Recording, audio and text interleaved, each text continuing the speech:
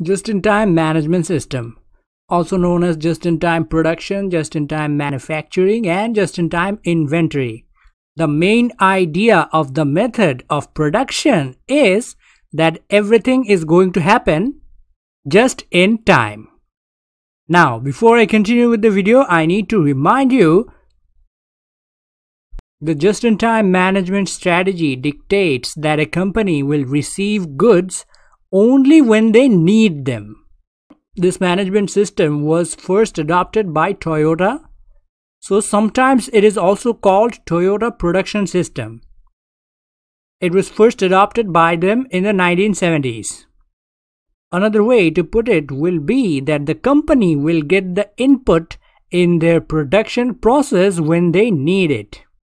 The reason companies are likely to follow this method is to eliminate any waste in the production process with the added goal of being as efficient as possible.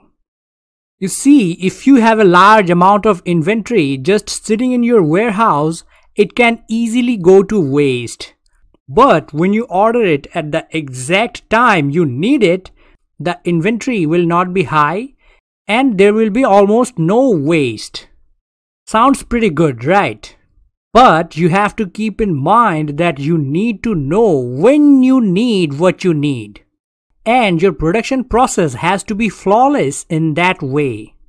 Because if your projection is wrong, then you will either lose customers or your products will end up inventoried, causing waste which you wanted to remove in the first place.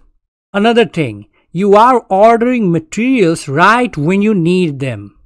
So you better have a reliable supplier and you need to communicate with the suppliers on a regular basis.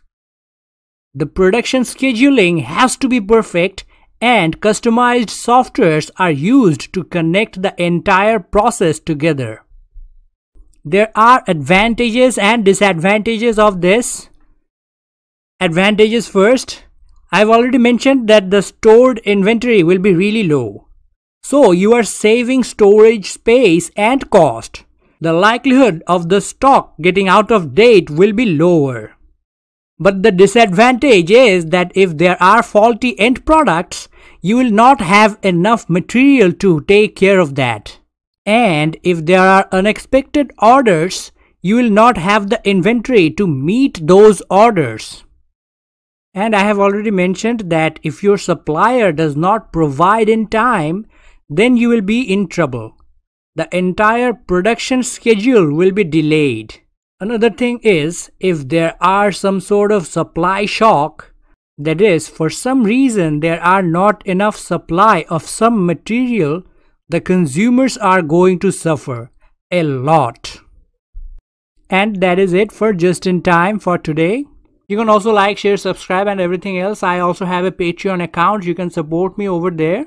I will post videos every Mondays and Thursdays for the entirety of 2021 if everything is alright.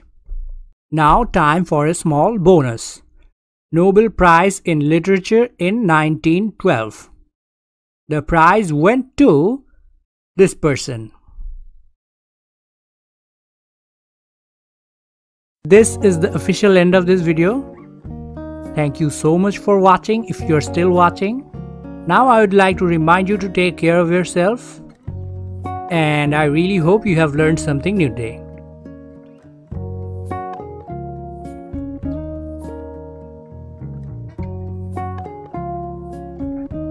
Goodbye for now.